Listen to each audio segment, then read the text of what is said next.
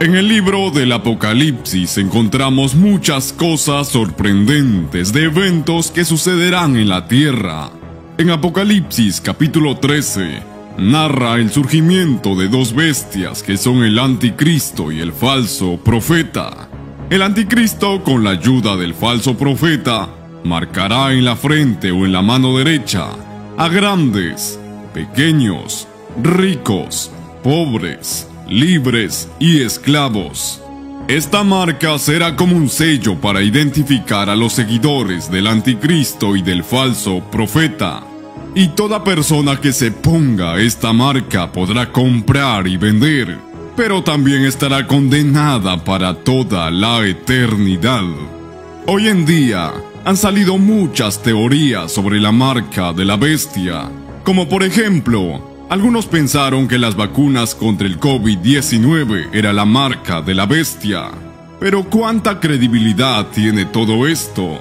En este video estaremos profundizando sobre la marca de la bestia.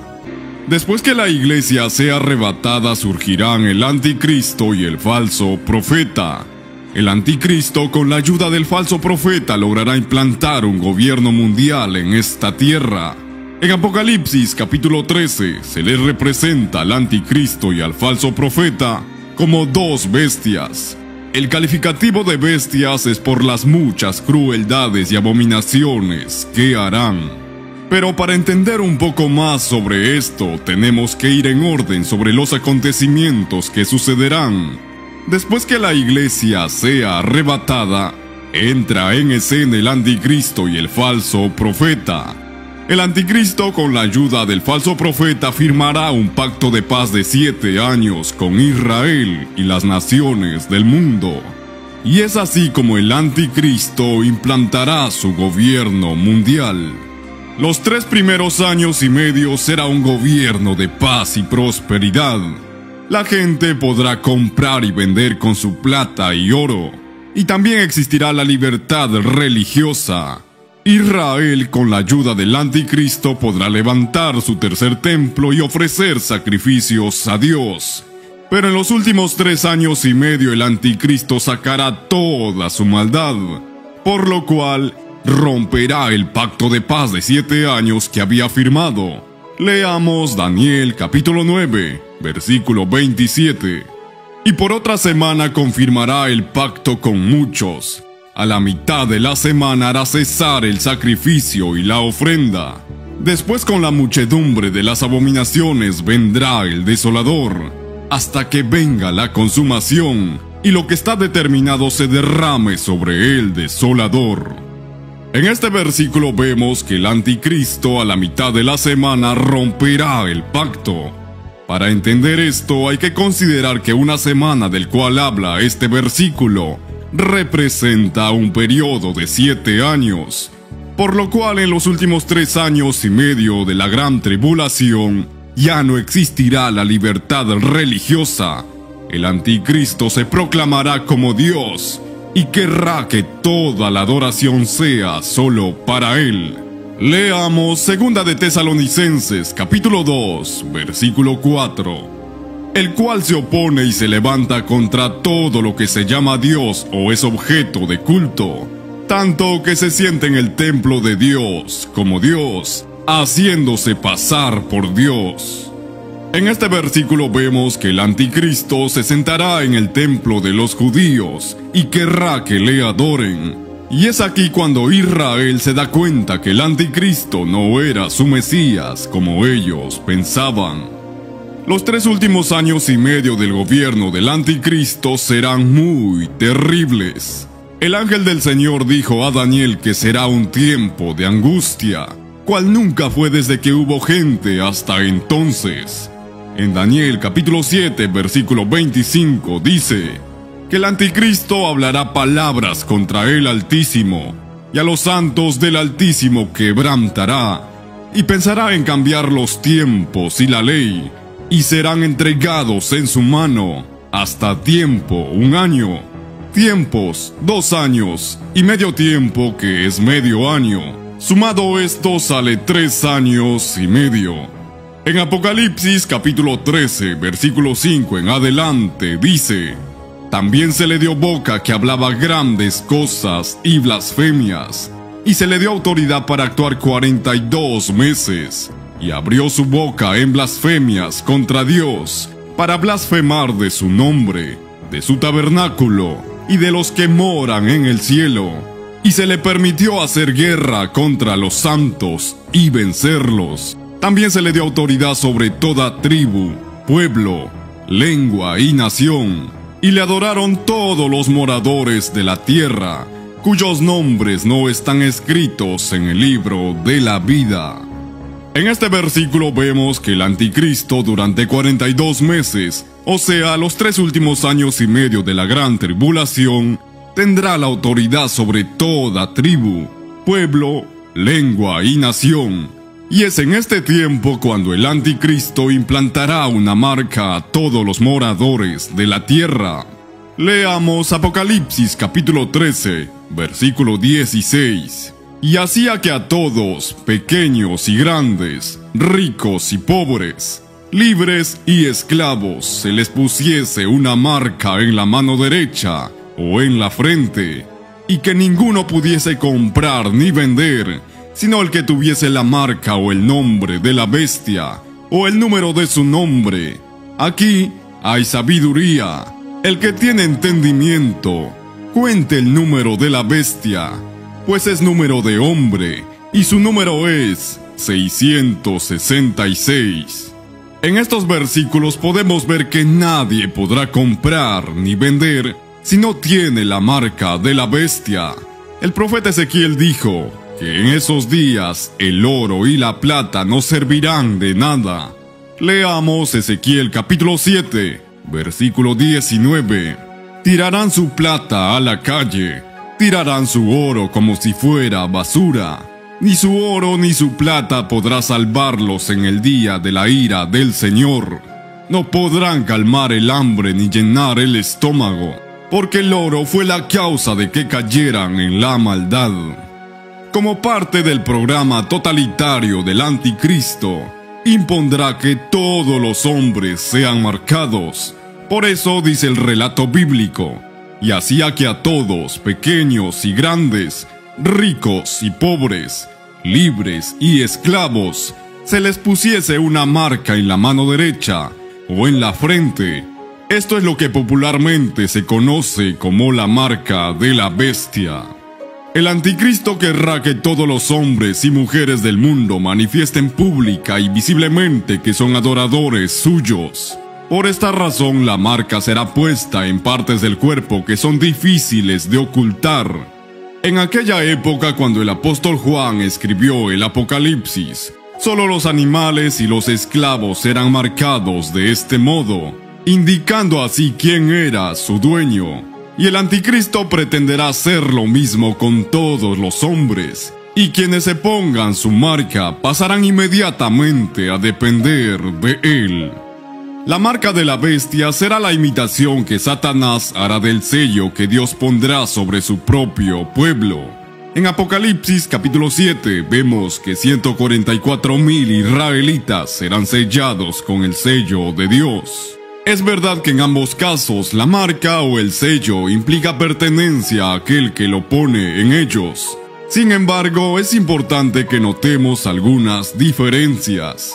En primer lugar, el sello de Dios es una señal de que hemos sido redimidos por Dios de la esclavitud del pecado, mientras que la marca de la bestia implica todo lo contrario. Por otro lado, el creyente es sellado por el Espíritu Santo cuando voluntariamente cree en el Evangelio, pero el anticristo forzará la voluntad de las personas por medio de métodos coercitivos y legales. Y como parte del programa diabólico del anticristo, quien no tenga esta marca no tendrá la posibilidad de comprar o vender. Esto implica que el anticristo llevará a cabo una reorganización de todo el sistema económico mundial, unificándolo al igual que también hará con la religión. Pero lo más importante aquí es que quienes no tengan la marca estarán vedados de realizar cualquier transacción comercial. Pero también todos los moradores de la Tierra serán sometidos a un rígido control dictatorial de una magnitud nunca antes conocida. Pronto todo el mundo se dará cuenta de que no es posible discrepar con el anticristo y se encontrarán que ellos mismos habrán elegido la peor de todas las esclavitudes. Sin embargo, los que más sufrirán serán los creyentes que se habrán quedado en el arrebatamiento de la iglesia y los que se habrán convertido en la gran tribulación. Cabe recalcar que en la gran tribulación todavía habrá oportunidad de salvarse, pero el precio será muy grande. Pero a pesar de eso, muchos se convertirán y aceptarán a Jesús como su Salvador, y ellos serán condenados por el anticristo al ostracismo o a la exclusión de la vida social, y lentamente irán muriendo por la imposibilidad de comprar comida, medicamentos u otras cosas necesarias para la supervivencia. En Lamentaciones capítulo 4 versículo 10 dice, Las manos de mujeres piadosas cosieron a sus hijos, sus propios hijos les sirvieron de comida en el día del quebrantamiento de la hija de mi pueblo. Este versículo nos revela unas escenas muy terribles. En esos días madres cocerán a sus hijos para comérselos. Jesús en Mateo capítulo 24 versículo 21 dice que habrá entonces gran tribulación, cual no la ha habido desde el principio del mundo hasta ahora, ni la habrá. Todo esto será muy duro Podemos pensar en los padres cristianos que no podrán dar de comer a sus hijos pequeños. Es cierto que en nuestros días muchas veces los cristianos se ven relajados en sus profesiones por causa de su fe, pero la persecución del anticristo será muchísimo peor. Aceptar o rechazar su marca será una cuestión de vida o de muerte. Es probable que muchos acepten con entusiasmo el ser marcados porque estén convencidos del potencial de los planes del anticristo. Otros tal vez lo hagan porque todo el mundo lo hará. Seguramente habrá personas que desconfíen del anticristo o incluso que se opongan a su sistema, pero no se atreverán a enfrentarse a él y para no tener problemas optarán por la opción más fácil y se dejarán marcar. Solo aquellos que de verdad conocen a su Dios serán capaces de negarse ante tal presión. Y los creyentes que salgan victoriosos les habrá costado su propia vida, pero habrán ganado la vida eterna.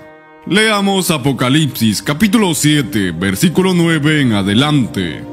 Después de esto miré y he aquí una gran multitud, la cual nadie podía contar, de todas naciones y tribus y pueblos y lenguas, que estaban delante del trono y en la presencia del Cordero, vestidos de ropas blancas y con palmas en las manos, y clamaban a gran voz diciendo, La salvación pertenece a nuestro Dios que está sentado en el trono y al Cordero y todos los ángeles estaban en pie alrededor del trono, y de los ancianos y de los cuatro seres vivientes, y se postraron sobre sus rostros delante del trono, y adoraron a Dios, diciendo, Amén. La bendición y la gloria y la sabiduría y la acción de gracias y la honra y el poder y la fortaleza sean a nuestro Dios por los siglos de los siglos. Amén. Entonces uno de los ancianos habló, diciéndome, Estos que están vestidos de ropas blancas, ¿quiénes son? ¿Y de dónde han venido? Yo le dije, Señor, tú lo sabes. Y él me dijo, Estos son los que han salido de la gran tribulación y han lavado sus ropas y las han emblanquecido en la sangre del cordero. Ahora bien, Todas las personas que se pongan la marca de la bestia estarán condenados a la condenación eterna. Leamos Apocalipsis capítulo 20, versículo 4. Y vi tronos, y se sentaron sobre ellos los que recibieron facultad de juzgar. Y vi las almas de los decapitados por causa del testimonio de Jesús y por la palabra de Dios los que no habían adorado a la bestia ni a su imagen, y que no recibieron la marca en sus frentes ni en sus manos, y vivieron y reinaron con Cristo mil años. En estos versículos podemos ver que las personas que no adoraron ni se pusieron la marca de la bestia reinarán con Jesús mil años. Por lo cual es probable que las personas que fueron marcadas por el anticristo habrán muerto en la segunda venida de Jesucristo. Ahora bien, el relato bíblico dice, aquí hay sabiduría. El que tiene entendimiento cuente el número de la bestia, pues su número es número de hombre, y su número es 666. Este versículo continúa haciendo una pausa que sirve para dar énfasis a lo que viene a continuación. Aquí hay sabiduría. Sin embargo, la declaración que viene a continuación es realmente muy enigmática y ha dado pie a innumerables especulaciones. En primer lugar, notamos que se nos dice que aquellos que tienen entendimiento serán capaces de contar el número de la bestia. Esto puede querer decir que Dios dará una capacidad especial a los creyentes que vivan en el tiempo del anticristo para identificar al anticristo y su número. Recordemos que esa fue la afirmación que el ser celestial le hizo al profeta Daniel. Los impíos procederán impíamente, y ninguno de los impíos entenderá, pero los entendidos comprenderán. Hoy en día, hay muchas especulaciones en cuanto a la marca de la bestia. Algunos llegaron a pensar que las vacunas contra el COVID-19 era la marca de la bestia. Otras personas sugieren que el código de barras que tiene la mayoría de los productos para su identificación consiste en tres grupos de seis cifras cada uno, por lo cual eso sería la marca de la bestia. Con el avance de la ciencia hemos podido ver cosas que antes eran imposibles, ahora son posibles. Por ejemplo, miles de suecos ya se han puesto un nuevo microchip en el brazo o en la mano. Toda la información personal de estos individuos está en algo del tamaño de un grano de arroz. Dicen que en los próximos años millones en todo el mundo tendrían acceso a esto que cambiaría para siempre nuestra forma de vida. No hay duda que el avance de la ciencia beneficiará mucho al gobierno del anticristo, pero por ahora todo es un misterio, por lo cual es difícil llegar a una conclusión satisfactoria pero es seguro que los creyentes que se encuentren bajo la persecución del anticristo no tendrán ningún problema para identificar su marca. Por lo tanto, tal vez debamos hacer caso de las palabras del ángel a Daniel. Estas palabras están cerradas y selladas hasta el tiempo del fin, por lo cual solo entonces será posible identificar correctamente al anticristo y su marca. Pero mientras eso suceda, la iglesia ya habrá sido arrebatada y estará de fiesta en el cielo, en las bodas del Cordero. Y así estamos llegando al final de este video. Esperamos que esta información te sea de gran utilidad. Y quiero hacerte una pregunta muy importante. Para ti, ¿cómo crees que será la marca de la bestia? Déjanos tu opinión en los comentarios. Y sin más que decir, Ahora me despido y conmigo será hasta un próximo video.